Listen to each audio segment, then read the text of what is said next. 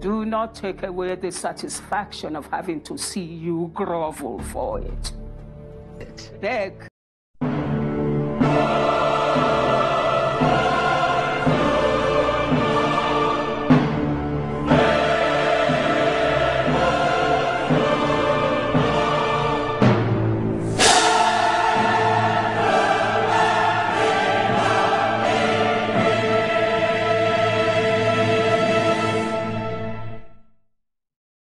Welcome, Mrs. Lycett. I'm so happy to have you here today. I've always wanted to speak with you. I've known you over the years, but we've never had the opportunity to sit down together, talk about your life, talk about your career, and just all the wonderful strides that you've made in many decades. And I'm happy this is happening today. Welcome. And you look really good. You look stunning as always. Thank you. Congratulations Thank on you. the success of King of the Boys.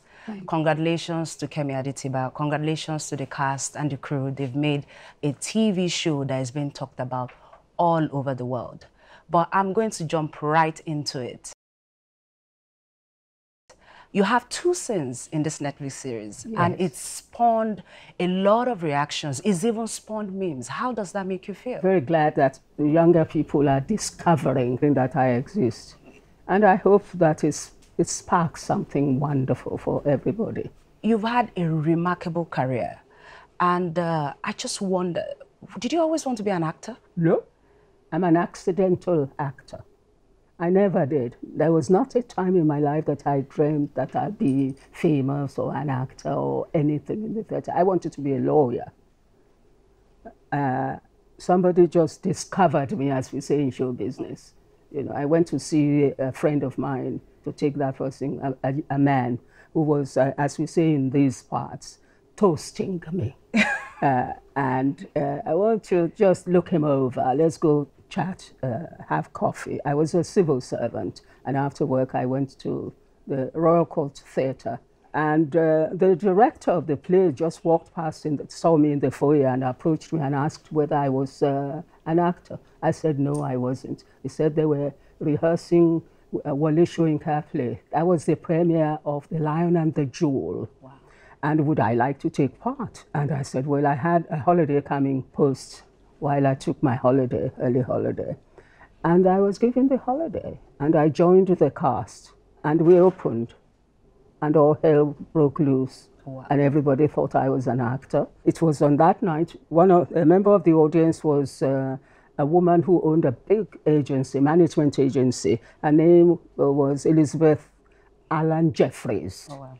And she signed me on. The following week, I was at the BBC working. I was doing radio plays. So the one thing from that, well, I don't know, I, I don't want to uh, uh, preempt uh, our dis discussion. Education is important. Oh, wow. What were you doing at the time? Yeah. that you were discovered? Post office in, in England. It was during our time when I was working there that the post office tower that you all, when you go to London now, you see, I was part of that. So okay. when I go around London now and I see the post office tower, I have a proprietary feeling towards that. Yes, that yes. I knew about this landmark. Mm. I worked on it and all that. So I was working at that level when because people thought I was so talented. And where was I all their lives? And, and, I, and I thought, they mustn't know that this was my first production. Hmm. I didn't think there was anything, anybody so, so much of a genius, you can just go into it. And I thought I'd better study. So I went and studied at, uh, uh, first of all, I studied at the City Literary Institute, which taught everything. Early classes, uh, at the dance center, Floral Street, when I was picked by a producer, a director, who was trying to do an opera at the Royal Opera House, Covent Garden. It's highfalutin, high, you know, very well bred. The queen, uh, uh, the queen opens, or the princesses, or the prince open the uh, the first the season. Uh, they must be at the opening, and I was chosen to be one of the dancers at uh, Wagner's, wow. Wolfgang uh, Wagner's Tannhäuser. And it was just going on like this. Wow. So training is of the essence because when you when you learn what you're doing, uh, uh, it's also it's important to be in the right place at the right time because when you're in the right place at the right time, doing the right things, well, you will meet people who give you the opportunity, the right opportunities to grow, and that's what happened to me going back to your uh, to your performance in King of the Boys, uh, The Return of the King, you have just two scenes. Your character, Chief Randall, who is the matriarch of the Randall family, is wearing a mohawk, something that we usually don't see on screen for women around your age. And I thought that was pretty interesting. Was that your decision or that of the directors?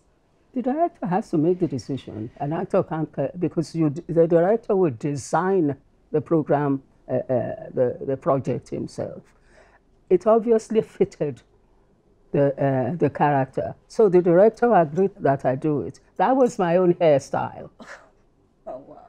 Though an old woman, uh, I'm an urban cowgirl, so to speak. That kind of woman makes her own laws. Mm, mm. Chief Mrs. Randall, they rule the roost. They're very powerful. That's another thing about our women. We don't know our power. Women are very powerful. That woman, that was a, a quintessential African woman. And you've always played strong female characters. Was that a deliberate decision on your part or just something that came to you? No, I, I, I don't cast myself. People cast me. I must seem to them to be formidable, okay, uh, powerful I like women to be seen as powerful because we are powerful. It is not that women are strong. Women are already strong. Our duty is to make the world know about that strength. That's it. No, I don't cast myself, uh, uh, but I think uh, I, I, imagine that people can see that strength and then they, they work to, to, to that one.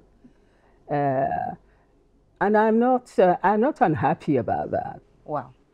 So what's your, what, what, goes, how, what goes into your preparation for a role? How do you prepare for a role? I just read and read and read until I find the heart of the character. That sounds too precious. But you do find the character. You read and read and read because words are nothing. Words are cheap. You have to find the meaning of each word. Because when a writer puts strings uh, uh, words together, it means something. And each word, I like to make each word mean something. I like to play on the subtext, we say. I like to play on the nuances uh, uh, in, in, my, in my dialogue. Uh, and speaking of words, I wanted to go back to another of your scene in King of the Boys, where you registered how unhappy you were with how your son's uh, second-time ambition was being managed. You did use the F word, and that took us by surprise. Was that on purpose? Do you swear in real life? Of course I do. when you're exasperated, uh, you use very, very colorful language.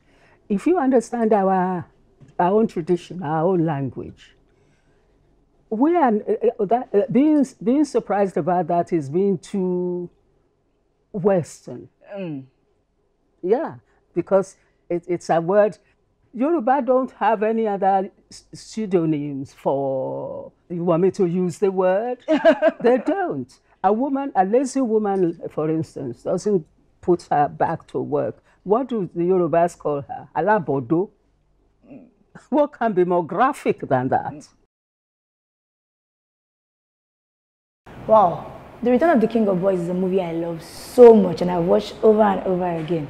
But with mommy um, Taiwo Ajayi-Lycett around, it's, it's, it's a wonderful experience. The acting is actually phenomenal. Really, really good production.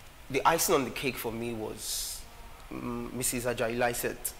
That um, scene where she was telling Mrs. Randall to beg, I love that part. I, I love like, I just love everything about the scene, like the way actions played out along with the words are poised, everything, structure, and in fact, the facial expression killed everything. Like there was no mistake. Of boys, the return of the king, uh, the return of king, has sparked a lot of conversation around feminism, around power dynamics, and around the gender dynamics, gender dynamics. in Nigeria's politics. Do you feel that women are fairly represented in our polity and politics in Nigeria? No, women are not uh, fairly represented. And a lot of that was discussed that people were asking Eniola Salami some stupid question they wouldn't ask a man. And some of it would come from, from women too. Women don't like women very much. And it's a plantation mentality. You, you know, where, where tokenism, it's tokenism that's at work. Extraordinary people, and there are more extraordinary women around. But for some reason, we've conditioned ourselves to feel that only men are entitled to, to power.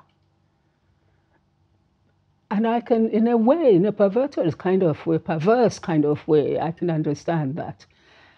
Women give service. That's how high, that's what we're high, high wired to do. We give service rather than uh, uh, display even power. People think giving service is weak. Exercising power is everything. Pure power they think that's strong. But women know about giving service and looking after themselves. This business where people think that women are weak. I like this film. I hope it inspires many girls to know that they can do anything. Not just run, not just run the underworld, but run their lives. How can storytelling, what's the role of entertainment in setting agenda, generally for women empowerment, for women, or discourse around what affects the society? Well, I think we should start writing scripts for women. There's nothing wrong with a woman being a powerful entrepreneur. Hmm. Let me go back to our tradition. You know, the people who build our old, whatever it is, market women, entrepreneurs sent their, children to school, educate them, and looked after them. The man can afford to have three or six or seven wives. He just has them. He just throws his seed around. It has the children, but who looks after those children? The women. Mm. So they're managers. What we see in our country, we don't have managers. But women can manage.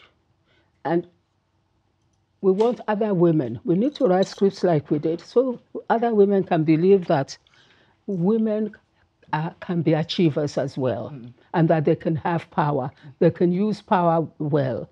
They can look after themselves uh, and stop hiding behind men's uh, agbada as, uh, as happens now. What do you say to these um, comments that uh, women usually get, where people say women are moved by emotion, men are moved by logic?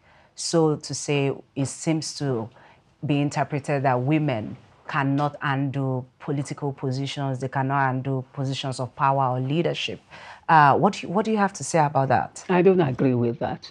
Wow. What more do you want me to say? So, yes, women must have emotions what men are uh, what men are calling logic is blindness to what they perceive to be weakness. They don't want to bother to do the, the, the hard lifting of caring about what happens to this, but, but uh, that or the other. It's it's not macho enough. Mm, mm, but mm. women who know that what kind of country can you have or family uh, can you have if a lot of your people are not cared for, are not in good health, and mentally, physically, financially, therefore, right now, see what's happening with countries where, uh, where they're run by women. See how long Angela Merkel has been in power. Yes. It's the best time Germany has had since post-war period. It's always, uh, it's always, I always feel illuminated just hearing your commentary on politics, and I'm going to delve more. I mean, I've, I've, we've, we've talked over the years, your, your, your estimation and you articulate so well. Is it Chicago politics? Is it US politics? Is it UK politics where you've lived? Is it Nigeria politics? I just want to know, is there any time you ever considered going into politics or getting involved in politics? I don't, no, I've never thought about it. Do you know why? I think I'm already in politics. I'm doing what politicians are supposed to do. You inspire people, you look after people, you contribute to their lives, physically, financially, in any which way that they want. That's what we're, it's called service. I give service. My life's always been about service. I know you live on the mainland. And um, like you've just said, part of the reason why you live where you live is so that you you are not far removed from the reality. You touch people. Yeah, you are not far removed from the reality on ground. What what do you see is happening with uh, with the leadership and the citizenry in Nigeria today? How, how, do you think we're still in sync or we're speaking different languages? Completely different language, uh, different countries entirely, not just language. Our leaders live in another airy fairy world, quite divorced from their own people. Because, because how can you explain a, a, a situation where you don't have hospitals, properly functioning hospitals, you don't have medication for your people, drugs and that sort of thing. You don't have the infrastructure on the ground. But when you have a headache, you can take a plane and go abroad to Germany, to England, to America, to India to treat you. You see the divide between the, uh, uh, uh the people and their leadership, and they don't have any conscience about it. I was reading uh, recently about uh, one of our leaders taking a vacation abroad. They are not thinking no other country is going to leave their leaders to go to other countries to do delicate operations on them. It's a question of security, mm. a matter of security, and handle their own health and everything. It's also about sovereignty mm. to other people. They're now thinking about all that. And everybody, and I hear people talk there about their patriotism. Rubbish that which uh, a leadership would not have education sorted out, where your universities are, uh, have been on strike for four years, and people, uh, a course that you can take for three years takes you seven years. Wow. Yeah. But, but, because, but you don't worry because all your children are in Star Harvard uh, in England and America and India and Russia and whatever it is they're having. What kind of heartlessness is that? Constant electricity so we can't produce anything. And, and I hear people are surprised that the, the Naira is going down, it will be 1,000. I don't, you know, it's not intelligent discussion for me. Hmm. That the leadership will even be worrying about that when you're not producing anything to sell in exchange for for, for, for, for revenue and yes, I know. Yeah, your agriculture has gone to ground. For instance, you have the difficulties of uh, the farmers uh, uh, being driven out of their farmland. So you can't, you can't feed your citizens. And we're drinking milk, and we're having yogurt, and we're having, well, what, all sorts of things, all of them imported. We're not selling anything to anybody except fossil fuel. There is no concern about that. There is no service being given. What country would have a, uh uh, uh, uh, uh, leadership, will do what we have here, where we don't have power. Constant uh, electricity. Constant electricity. So we can't produce anything, which we're not even, what do you call it, process here. Yes, it's exported, yes. Yeah, which is export. How are you going to tell me that these people boast of having logic? Are you going to tell me that those people are intelligent? Hmm. Who are not using emotion to say that if we do this, what's going to happen to, my, to our people? And they're there. And my message to women is they're sleeping with these men. What kind of pillow talk do they have? It's a special day for you. Uh, it's a special day. I, I understand it's the anniversary uh, with your late husband, Tom Lycett. And um, I know how passionately, how passionately you felt and uh, you feel about the relationship you had with your husband. And I just want to cast your mind back, uh, if you could tell us, or just reflect on the relationship and the kind of impact he had on your career as an actor? I wish he were here today. Uh, it was my greatest critic. Uh, apart from the fact that he recognized that, yes, I should be, when I was busy doing this, that, and the other, I'm a generalist, really. And, uh, well, the same master of none, but I think I mastered all my, uh, all, the things I'd, uh, I peddled, if you like. But he said to me, he came to watch me in a production and decided, ah, acting, you should take up acting. You are an actor. Because I never thought I was an actor. I think that still dri- uh, drives me. I think I thought I was an imposter. In many ways, I still think I'm an imposter. Oh, why? I don't have the the look at me, look at me, look at me, uh, superstardom diva. Or maybe some people would think I, I am diva-ish. I don't have that. I think acting is about giving service. I think acting, I think performing is about uh, projecting ideas to people. I think acting is evangelizing about morality, about a state of affairs, about everything. I don't think it's merely just entertainment. I think it's about disseminating information and the ideas, and of course, educating. I can't let you go without asking this final question. Um, you walked on the day your husband died. Yeah. You also walked on the day you got married. Yeah. That is a strong work ethic.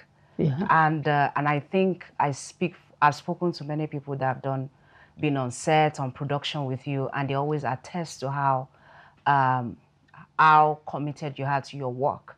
And the example I gave earlier, that's not a usual. That's an unusual way to express grief. What, how, what inspired, what made you take that decision? i have always been curious about that. I know it's boring, but it's about service because no, nothing is about you. I'm in a production. People have paid their, paid for their ticket, and they're doing that. So my husband died. So we stop, and then I won't be able to work. Uh, if I go to pieces, we stop the production. People come to the theater and they say, oh, sorry, we can't do anything today because uh, um, the husband of one of our cast members died. What kind of indulgence is that? It is nothing to do with them. They cannot bring him back. So you get on with what you're doing. So it's another day in the shop, so you just do what you're doing. I honor him. He wouldn't even want me to do that. He wouldn't. He was in hospital and I was with him that day. And I remember him saying to you, don't be late. You got, that's a man who was about to die a few, don't be, don't be late, you, you got to go. Because it's about service. If everybody knew my husband died, ah, sorry, oh, sorry, oh, it's not going to bring him back. And they can't comfort me anyway. Only you can comfort yourself. If you see what I mean. They're sympathetic. Uh, they will be sympathetic, but you disrupt every, everything because you are hurting so I like to get real. Well, I call it getting real. I'm in other people's lives, and other pe- what happened to other people is important to me. And, and so I don't make everything me. Thank you so much. This has been a very wonderful time. We've learned so much uh, today, and uh, I look forward to speaking to you again. Have a lovely day. Let's do it again. Yes.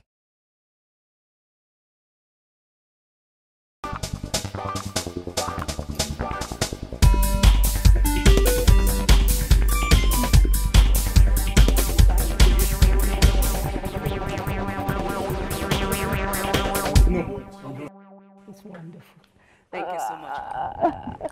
That's what we do in Nigeria. Well, I'm showing Bombi.